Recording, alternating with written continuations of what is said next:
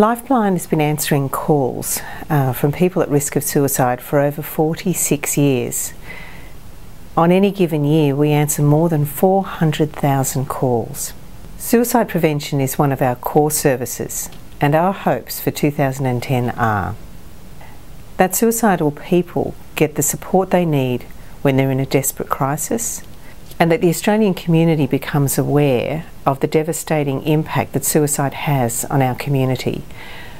More than 2,500 people, we believe, die by suicide every year, and that's significantly more than die on our roads every year.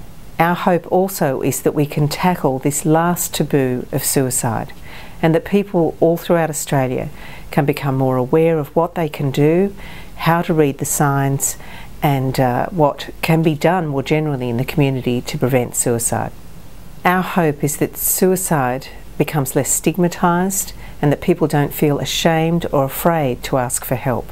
We also hope that bereaved people uh, or those that have lost somebody to suicide can get compassionate care and help in a timely way when they need it.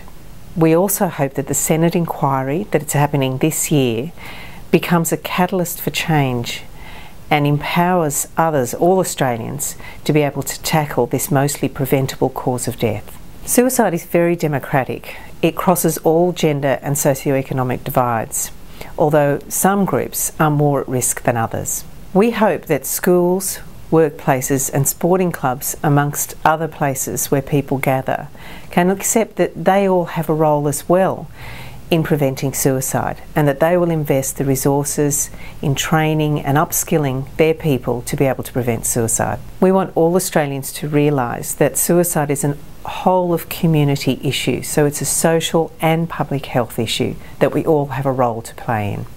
Our hope is for an Australia where the mark of a man is that he knows that he can lean on others and seek help and support to be strong.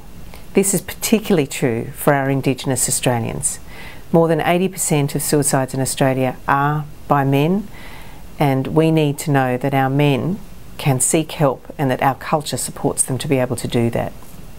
Our hope for 2010 is that all people who experience a suicidal crisis or who attempt suicide will be able to get compassionate care and understanding at their time of need.